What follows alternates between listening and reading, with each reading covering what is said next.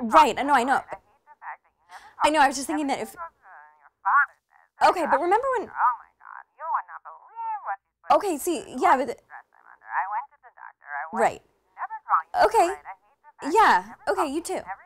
Okay, bye. Oh, God. My mother does not know when to stop talking. She just goes on and on and on. She makes so many tangents from the point that it's like, I don't even remember what we were talking about in the first place. And it's like, she doesn't even realize that conversation is a two way street. And like, I'm on the phone too. Like, I might have something to say. And it's like, she goes on and on. You don't even remember like what you're talking about in the first place. You know, which reminds me of this thing that Neil once said to me. He was like,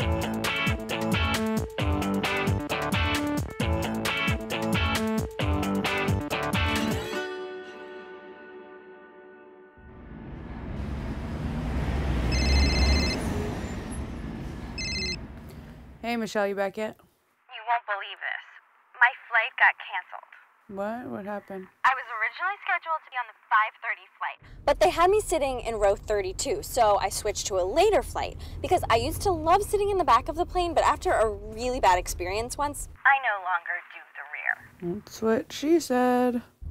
that's what who said. Never mind.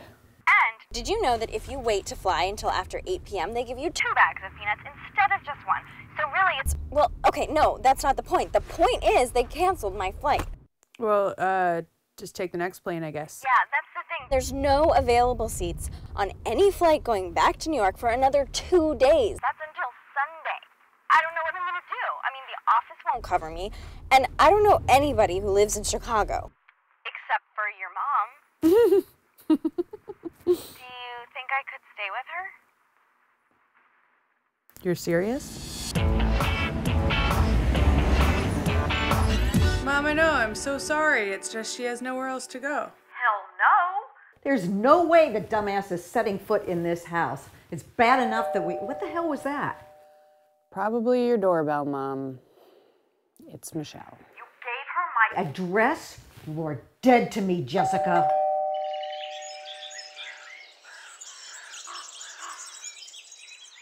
How's it going, Mom?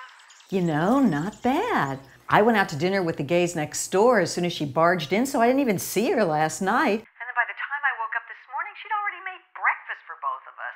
And she said she could get me tickets to an ultra exclusive event at the Shedd Aquarium. We even gave each other nicknames. Mind if I call you mom? Yeah, I do, dumbass. See? I told you it wouldn't be that bad.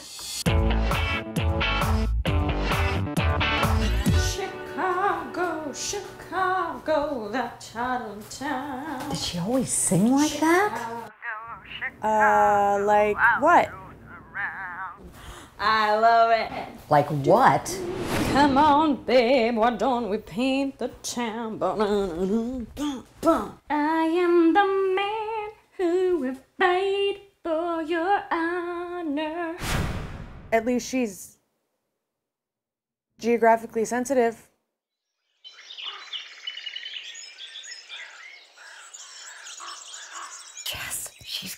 Me. We can't even get through a movie without her big loud mouth yammering. Is this popcorn too salty? I feel like it's too salty. Should I make another batch? I'm fine.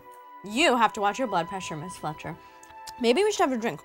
I kind of feel like a Diet Coke. But no, no, we should wait because Meryl is about to make her big decision. Son, daughter, son, daughter. Go, girls! Nah! Mmm, this popcorn is salty. Jess, she's killing me. Maybe you should turn off the TV, Mom. I am this close to cutting off her hair. And stuffing her down her big, fat, loud mouth.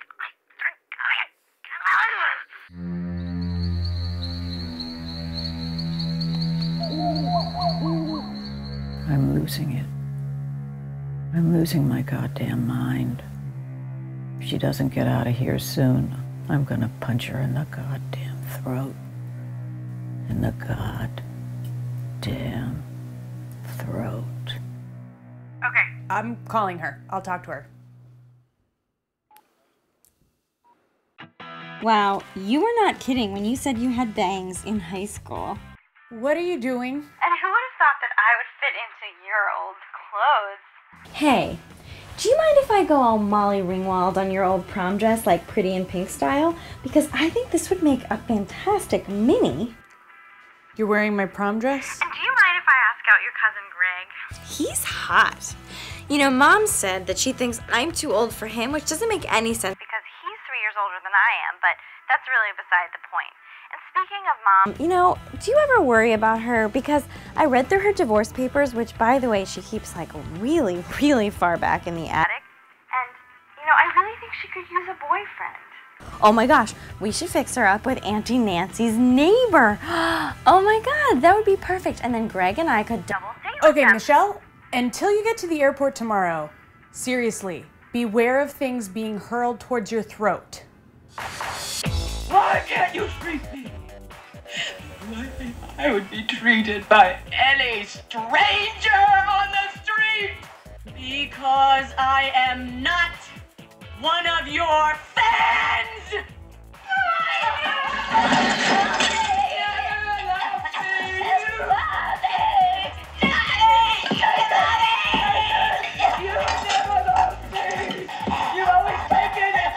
Did she just punch her daughter in the throat?